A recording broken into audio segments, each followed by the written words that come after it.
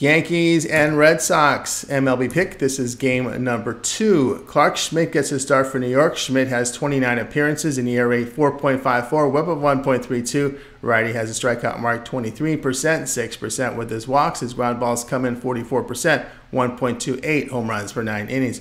Chris Murphy to start for Boston. Murphy appeared in 14 games. His ERA 4.64, whip of 1.50. Rookie righty strikes out 22%, 8.5% walks. His ground balls come in at 46%, one home run per nine innings. Schmidt, his past five starts, allowed 19 runs in 25 and two third innings. Murphy at home, an ERA of 6.29 and whip of 1.73 with 4.8 walks per nine innings.